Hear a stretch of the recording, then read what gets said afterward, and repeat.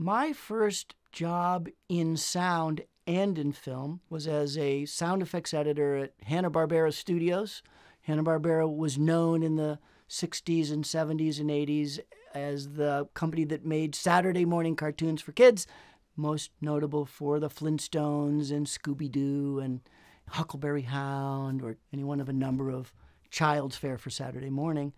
And I was lucky enough to be asked to be part of a training program where they were bringing in um, individuals to teach them the sort of arcane art of cartoon sound. And I did very well in that program, and they, and they gave me a job. And I learned on the job. I didn't go to film school. Um, in fact, I dropped out of university studies to be a translator for the UN to come to Hollywood to get in the movie business anywhere I could find a gig. And my first gig was as a sound editor. The advice that I have for people starting out is manifold. So this one might take a minute or two.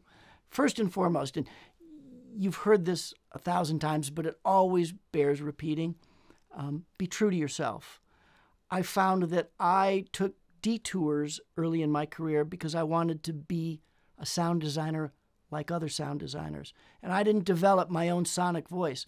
And my success in sound didn't really start to blossom till I started to just think like Mark Mangini and act like Mark Mangini and make sounds like Mark Mangini, not imitate sounds like another famous sound designer would make.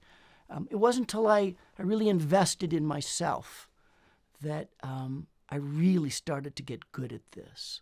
Because for me, my observation is that I am hired for me. Every filmmaker with some kind of integrity hires me or you for your take on something. They want to know what you uniquely bring to their project.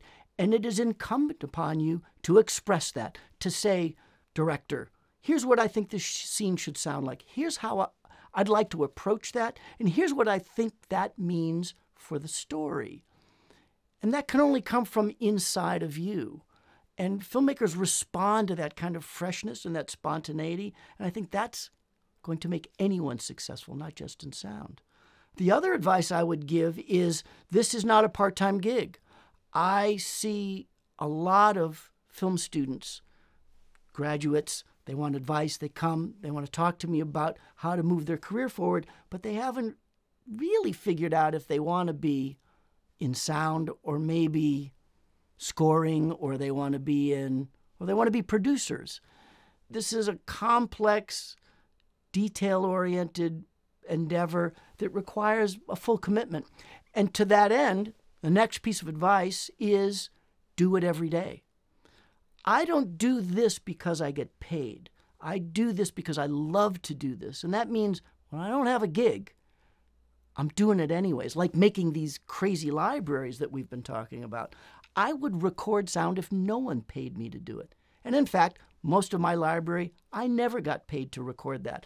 I did it because I got a giggle being in a pen with an elephant, or I got a giggle being in a Lamborghini at 150 miles an hour.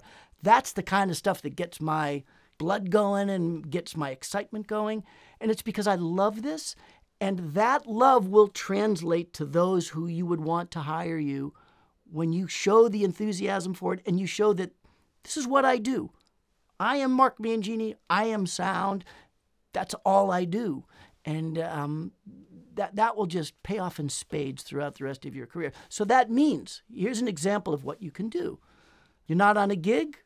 Go take one of my movies, strip the sound out of it, and cut some new sound for it. And figure out what your take on a scene of Dune or Blade Runner or Mad Max Fury Road might sound like if you had been the supervisor or the sound designer. It's a great exercise in stretching your creative muscles.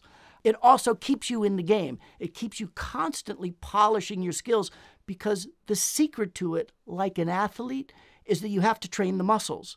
The reason Lionel Messi is the greatest soccer player in the world, or one of them, is that he trains every day for eight hours so that when he needs the skill, it's second nature.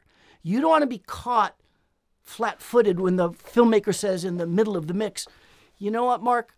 what I really need here is a sound that makes me feel like this.